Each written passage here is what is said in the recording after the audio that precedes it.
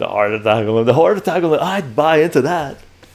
In this heat, we have people that got five boosters. Let's see how long they can run.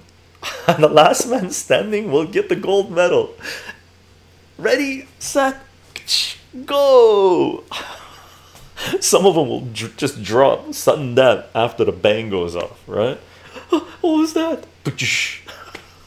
Man, I would watch that. Seriously. I would seriously watch that.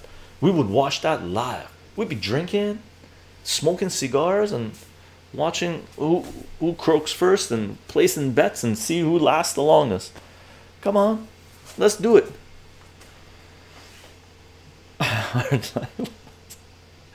Crazy, see that? I heard the saying from retired uh, colonel, colonel uh, one of the smartest man I ever know. What'd you hear?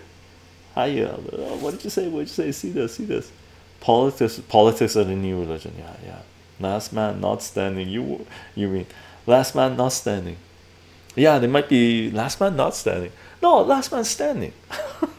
Actually, the first. Let's let's make it a little bit more exciting. Let's let let's let's make them, uh, you know, work for it harder. Right. Let's say the first one that gets a heart attack. Right.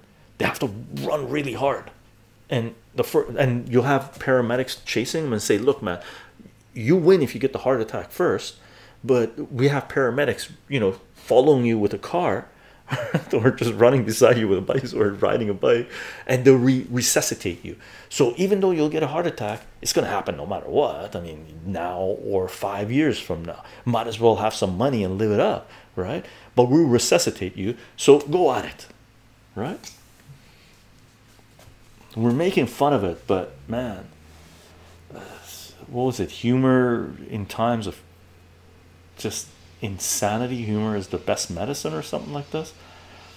Ah, oh maybe dying to win the one elder god is a good good marketer the 100 meter final where you'll be dying to win